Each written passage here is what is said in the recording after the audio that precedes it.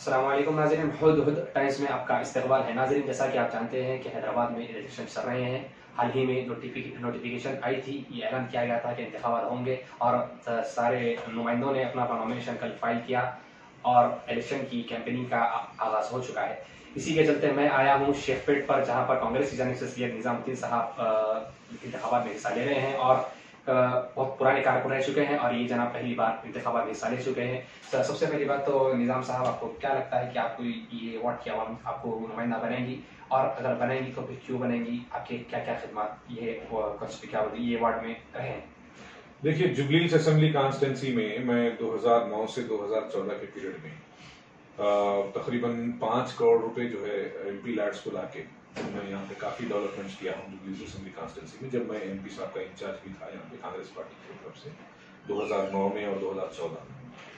तो डेवलपमेंट की तो हम शुरू से ही जो है कांग्रेस पार्टी हमारा जो भी काम यहाँ पे कारकर्दगी करी है और खास करके मैं मैं डेवलपमेंट को बिलीव करता हूँ मैं कोई ऐसा आप मेरे को इस बार इसके मज़हब के नाम पे वोट दे दो या फिर कभी कोई मजलिस आके बोली मुसलमान के नाम पे दे दो बीजेपी आके बोली हिंदू के नाम पे कांग्रेस की आइडियोलॉजी फॉलो हमारी जो आइडियोलॉजी है हम हम काम को बिलीव करने वाले खास करके मेरी बात है जो हमारी हम ये जो कॉन्स्टेंसी है वो कॉन्स्टेंसी कांग्रेस पार्टी की ही है।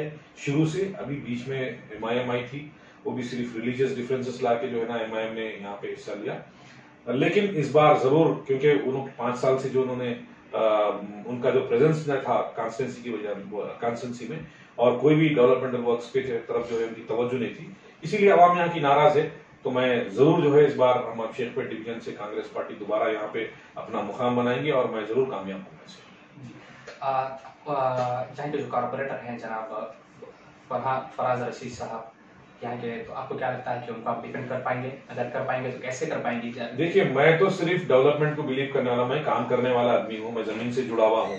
मैं जब पावर में नहीं हूँ, मैं ऑफिशियल खाली मैं पार्टी के पोस्ट पे हूँ तो मैं जो है ना कई ऐसे काम करते जा रहा हूँ। जब मेरे को, जब पब्लिक आवाम इलेक्ट करेंगी तो डेफिनेटली मैं जो है उनके लिए साथ में रह के उनके उनके जो इश्यूज़ है, उसको सही मानों में टेकअप करूँगा और डेफिनेटली गवर्नमेंट से कहाँ से बजट ला सकते हैं? किस तरह से कारपोरेशन कारपोरेशन से बजट ला सकते हैं या फिर एमपी लाट से ला सकते हैं या फिर एमएलए से ला सकते हैं? हो सकता है कि एमएलए में यहाँ हमारा पार्टी का एमएलए नहीं है हमारी पार्टी का जो है ना एमपी भी नहीं है उसके बावजूद भी हम जो है ना सिटिंग एमएलए हो सिटिंग एमपी को उनको भी अप्रोच करेंगे। हम ये देखेंगे कि हमारे डिवीज़न किस तरह से डेवलप किया जाता है देखिए कांग्रेस एक बहुत पुरानी पार्टी रह चुकी है और आवाम कांग्रेस पार्टी के हर यानी कि जो चाल है कांग्रेस पार्टी की उससे बहुत भी वाकिफ है कि वो कैसे जो है आवाम के साथ रवैया करती है क्योंकि ये बहुत पुरानी पार्टी है।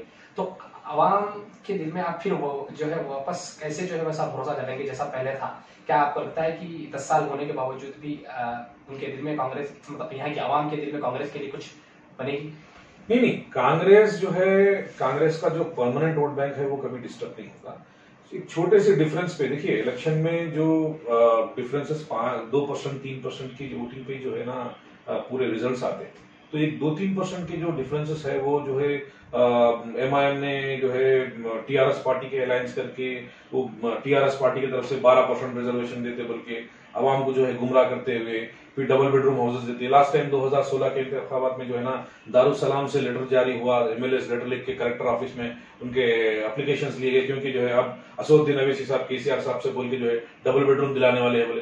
पाँच साल हो गया और वो एप्लीकेशन किधर गया नहीं मालूम। जब जाके मैं कलेक्टर से बात करा कलेक्टर से पूछा, बोला, ये लोग आके एप्लीकेशन दिए। तो बोले तो वो लोग क्या बोल रहे हैं? यहाँ पे कोई ऐसा काउंटर ही नहीं लगा, यहाँ पे कोई एप्लीकेशन नहीं लगेगा। जबकि डेढ़ लाख एप्लीकेशन रिसीव हुए। उसके बावजूद भी collector of Hyderabad collectorate office के अंदर, एक कलेक्टर ऑफ़िस में कलेक्टर साहब ये बोलते कि जो है ना, यहाँ पे कोई ऐसा काउंटर ही नहीं था, कोई लिए भी नहीं। तो यानी एक सरासर जो है ना ओपन छूट का जो मामला है, वो एमआईएम की तरफ़ से ले लो टीआरएस की तरफ़ से ले लो दोनों मिलकर जो है ना, आवाम को गुमराह करे थे 2016 के इंतबात में। इस बार जो है आवाम जो है शवरबदार हो चुकी है, क्योंकि जो वादे टीआरएस पार्टी ने पिछले छह सालों से किए और जो वादे मजलिस इतिहाद मुस्लिम ने, किसी ने भी अपने वादों में कामयाब नहीं हुए, पूरे नहीं हुए। जो कांग्रेस पार्टी का जो डिकेट था, जो 2004 से 2014 तक का जो डिकेट था, उसके अंदर जो है तकरीबन डेढ़ सौ करोड़ की लागत से शहर हैदराबाद का एक नया शहर डेवलप हुआ। लेकिन पुराना शहर आज भी पुराने शहर के अंदर ही है। वहाँ पे कोई डेवलपमेंट बात की नहीं इसी के चलते मैं और एक सवाल मेरे दिल में आ रहा है तो मैं आपसे सवाल कर रहा हूँ। जैसा कि आपको पता होगा कि सीएम केसीआर ने एक महीना पहले ऐलान किया था कि अक्टूबर में सेक्रेटेरिएट के दो दो मसाजिद तो शहीद कर लिए गए थे उसके ताल्लुक से उन्होंने कहा था कि अक्टूबर में फिर से संघ बुनियाद रखी जाएगी फिर मंदिर भी बनाया जाएगा फिर भी बनाया जाएगा। अब तक कुछ भी जो है ऐसा काम नहीं हुआ तो इसके बारे में क्या कहना चाहिए देखिए केसीआर साहब की शुरुआत झूठ से होती है क्योंकि झूठ की बुनियाद पे जो है इबारत नहीं खड़ती ये हम सब जानते हैं। तो केसीआर साहब झूठ बहुत अच्छी तरीके से बोलते हैं और इतनी सलाहियत है उनकी झूठ में कि लोग यकीन कर लेते हैं। अब उनको सोने पर सुहागा हमारे असदुद्दीन अवैसी साहब है। उन्होंने भी जो है ना, कार की स्टेयरिंग मेरे हाथ में मैं जिधर फिरा उधर चले जाती बोलते। अगर वाकई कार की स्टेयरिंग अगर आपके हाथ में है, हैदराबाद का एक नया हिस्सा इतना डेवलपमेंट हुआ, यहाँ पे मेट्रो ट्रेन आई, पुराने शहर में मेट्रो ट्रेन क्यों नहीं लाया? आप क्यों नहीं ला सक रहे? अगर आपकी स्टेयरिंग आपके हाथ में तो लाओ ना मेट्रो ट्रेन आप। आप, क्योंकि दूसरे मरहले में जो है ना, पुराने शहर में मेट्रो ट्रेन जानी चाहिए थी। नहीं जाई। नहीं जाने का रीजन ये है कि वो लोग नहीं चाहते कि जो है ना पुराने तरफ़ के शहर की तरफ़ जो है मेट्रो ट्रेन आए और पुराना शहर डेवलपमेंट हो ये कांग्रेस और ये हमारे एमआईएम और टीआरएस की जो पॉलिसीज़ है, ये आवाम जान चुकी है। इस बार आवाम धोखा नहीं खाने वाली है। डेफिनेटली कांग्रेस पार्टी का जो दौरे इकतदार था 2004 से 2014 का, वो दोबारा वापस आने वाला है। शुक्रिया। जी तो ये थे सी निजामुद्दीन साहब शेख डिवीज़न से, जो कि कांग्रेस पार्टी की जानब से इंतखा लड़ेंगे। मैं हाजी मादुद्दीन के साथ रिपोर्टर एहतशाम खान, शुक्रिया। इसी तरह के रेगुलर अपडेट्स के लिए नाजरीन, हुद हुद टाइम्स के यूट्यूब चैनल को सब्सक्राइब कीजिए फेसबुक पेज को लाइक कीजिए और इंस्टाग्राम पर फॉलो कीजिए। शुक्रिया।